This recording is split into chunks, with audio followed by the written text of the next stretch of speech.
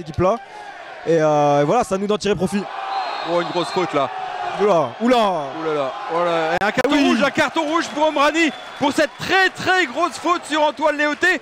C'est déjà le premier tournant du match. Mais euh, faut, faut mettre le, Attention, le joueur en confiance. Attention, Allez. Anthony Mauricio au deuxième poteau avec euh, Antoine Léoté, une Oh là frappe. là. Ah, il croque complètement sa frappe et cette frappe passe à côté du poteau de Willy Mayens qui était euh, bien sorti. Euh, Boulonné Oui, c'est bien fait ça aussi. sur le côté gauche pour Antoine Léoté face à Moufi.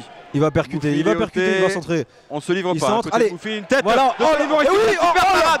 La Allez. parade, le poteau, Oh le ballon au-dessus. Le ballon au-dessus de Grégory Tilly. Euh, qui, est, qui est très très bon en 10. L'année dernière, il était euh, à Épinal. Attention avec euh, Rémi Bonenfant, la tête a été coupée par euh, Koulibaly. Cette frappe, cette frappe de Lucas Dorier, reprise en deux temps par euh, Willy Mayens. Une belle frappe en rupture de Lucas qui n'avait pas d'élan de tout. Euh, pour Rémi Duterte, on va sortir côté Sedané, mais pas assez. Rémi Duterte va pouvoir frapper. Ouais, une belle frappe, un ballon relâché Ah, c'est dommage. par euh, Willy Mayens. Il faut le lancer. Il va y aller. Un ballon pour y aller. Il va y Léoté, aller. Léoté, alors qu'on essaie de couper le ballon par Vacheter. Une frappe de Léoté, un superbe arrêt de la part de Willy Mayens. Il n'a pas vu Greg Thiel sur la droite. C'est un pur milieu récupérateur qui peut aussi apporter offensivement, mais qui récupère beaucoup de ballons. Attention à cette frappe de. Oh Ouh là là, là là là. Cette frappe de Moufi, on l'a dit, hein, il suffit d'une seule et unique Voilà, occasion exactement. pour un but. Et là, on, a, on, atteint, on atteignait justement à la 46e minute. On joue joue, dans la largeur. On joue bien là avec euh, Antoine Léoté. Antoine Léoté qui va pouvoir s'approcher du but au deuxième poteau pour Lucas Dory. Une Elle est tête de belle. Lucas Dory. Oh là là, et une nouvelle dommage. fois, Willy Mayens, une nouvelle parade. Antoine Léoté, Antoine Léoté pour Tony Mauricio. Ah, il les- il aime, Allez, combinaisons. Il les aime. deux. Tony Mauricio qui rentre dans la surface et qui est fauché voilà, il les aime ces combinaisons. et qui est fauché euh, par, euh, et me semble-t-il, c'est Johan Wechter. Les deux s'entendent très très bien. Lui, le défenseur central ce soir de cette défense boulonnaise. Allez, Thierry Arjolier. Et c'est le but, le oui. premier but ici à Boulogne.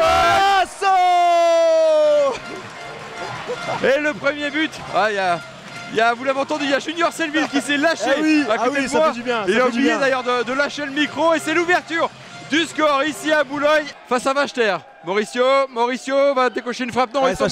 Et Sambé, une frappe pied droit cette fois-ci. Oh, Ah, le dommage. ballon n'a pas été touché par Willy Mayens comme j'ai pu le croire dans un premier temps. Dans la surface, Il n'y a pas le beaucoup de monde. Est-ce qu'il y a des solutions Oui, au Oh, premier photo. oui Tigrin, le Ah ballon oui euh, Contre contré euh, par euh, c'est Vachter et c'est le deuxième but. Deuxième but de Boulogne ici sur la pelouse de Alibé, le but du break. Attention avec euh, ce corner, le ballon est sorti mais toujours Il en il possession. Ouais, il retente. Il re- Ah, eh, Ah, belle- attention avec cette, ce but, ce but Eh de ouais. Caboret après cette euh, première tentative de la part de Saadaoui et c'est Caboret euh, de la tête. Pas 4 hors jeu. contre 1, 4 contre 1 pour euh, les Boulonnais. Cette fois-ci pour Léoté. Oui. Oh là là là là là Il a loupé le plus facile Antoine Léoté, c'est vrai qu'il était en bout de course. Ah mais c'était véritablement une offrande. Ouais. Allez, on en reste donc là ici à Boulogne-sur-Mer. Boulogne 2, Sedan 1. Boulogne s'impose, remporte une nouvelle victoire.